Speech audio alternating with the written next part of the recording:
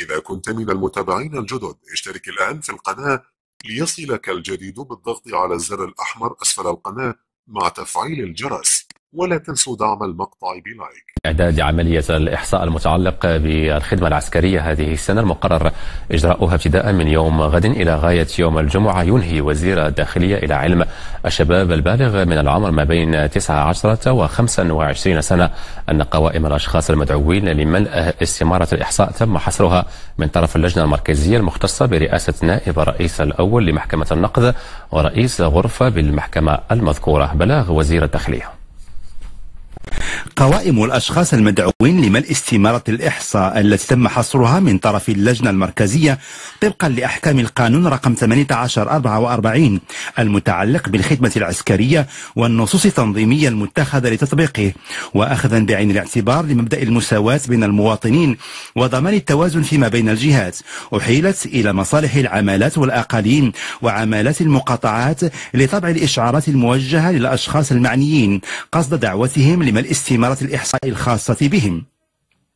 وتبعا لذلك فإن وزير الداخلية يهيب بالشباب الذين سيتوصلون من السلطات الإدارية المحلية بالإشعارات الخاصة بهم إلى أن يبادروا إلى ملء استمارة الإحصاء عبر الموقع الإلكتروني تجنيد ام وذلك فور توصلهم أو توصل أفراد أسرهم بهذه الإشعارات وفي نفس السياق يخبر وزير الداخلية كافة الشباب المستوفين لشرط السن المذكور أنه يمكنهم أن يتأكدوا عبر نفس الموقع الإلكتروني من إدراج أو عدم إدراج أسمائهم ضمن قوائم الأشخاص المدعوين لأداء الخدمة المذكورة برسم السنة الجارية.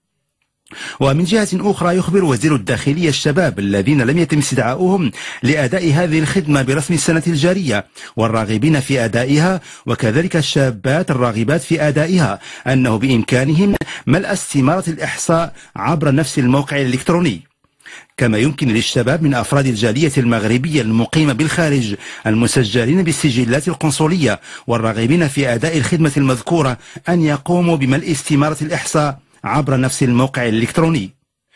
وفي الأخير يذكر وزير الداخلية أنه يمكن للشباب الحصول على المعلومات المتعلقة بالخدمة العسكرية إما لدى السلطات الإدارية المحلية القريبة من محل سكنهم أو لدى مصلحة الإرشاد المحدثة بالعمالة والأقاليم وعمالات المقاطعات أو عبر الموقع الإلكتروني تجنيد.ma